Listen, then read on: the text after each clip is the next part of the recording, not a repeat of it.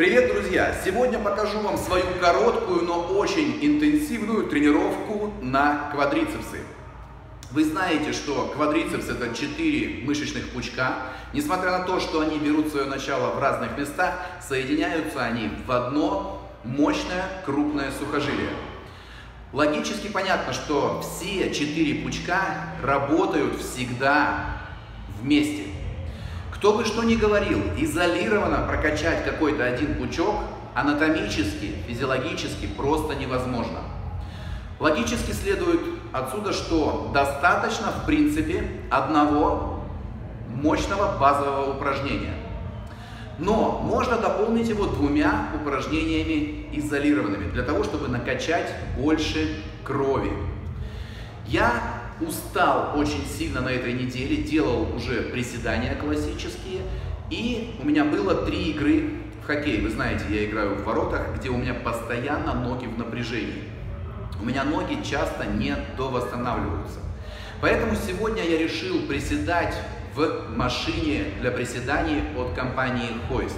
Мне очень нравится эта машина, потому что она снимает нагрузку с позвоночника, с поясницы, вы практически лежите, но выполняете те же классические приседания.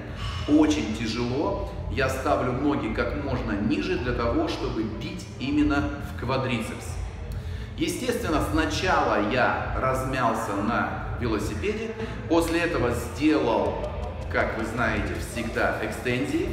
Это было экстензии определенный вид скручиваний. Я делал 5 скручиваний, затем 5 обычных экстензий и еще 5 скручиваний. Итак, 4 подхода.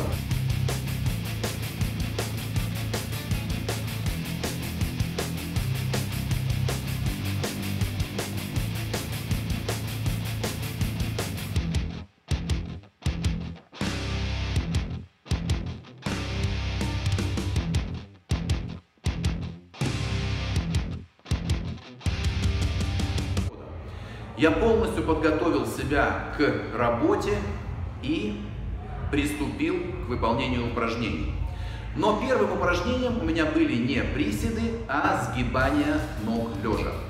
Почему не разгибание, а сгибание? Потому что для коленного сустава это более щадящее упражнение, и я еще больше накачал крови в ноги, тем самым упростил работу над прокачкой. Разгибания на самом деле, друзья, еще более опасны, чем приседания. Мы сделаем об этом отдельный ролик. После этого приступил к приседаниям. Да, забыл сказать, что сделал я 4 подхода, 2 разминочных и 2 рабочих сгибания ног лежа.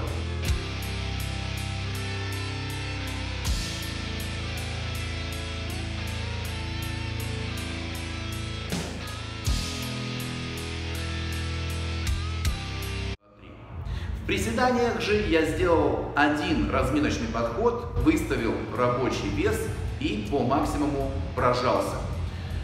Вы знаете, я против отказа и может со стороны показаться, что я работаю в отказ. На самом деле у меня отказ не позитивный, негативный, как многие его выполняют. Мой отказ это нестерпимое жжение в мышцах.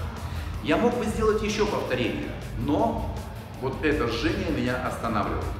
Именно такие подходы и приводят к гипертрофии.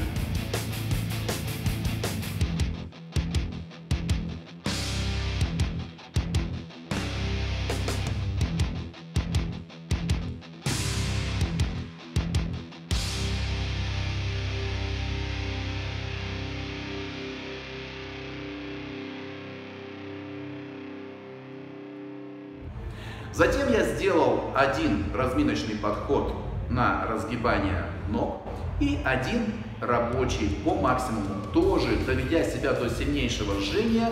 И именно это остановило меня от продолжения выполнения упражнения. Но ни в коем случае не отказ.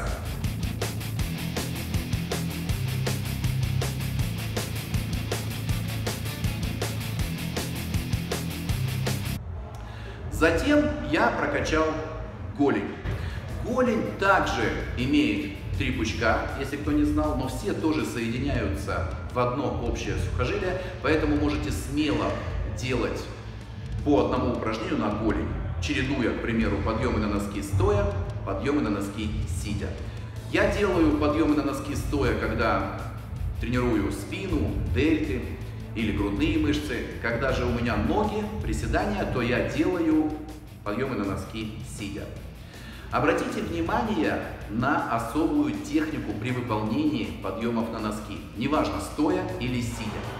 Очень важно это делать, потому что раньше я работал с весами в 3-4 раза больше, но не получал такой отдачи.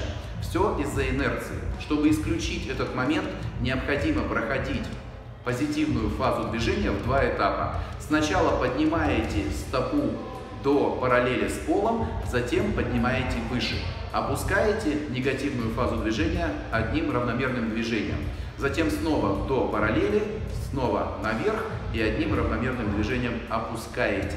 Еще нужно обратить внимание на то, что все давление, вся работа должна приходить на большие пальцы ног. Обратите на это особое внимание, попробуйте, и вы заметите, как смещается акцент, как усиливается работа голени. И как всегда, закончим нашу работу гиперэкстензиями тоже сделав 4 подхода по 15 повторений. Затем заминка на велосипеде 10 минут и мы свободны, ноги убиты, готовы к росту. Теперь нужно только грамотно питаться, грамотно восстанавливаться и будет нам с вами счастье.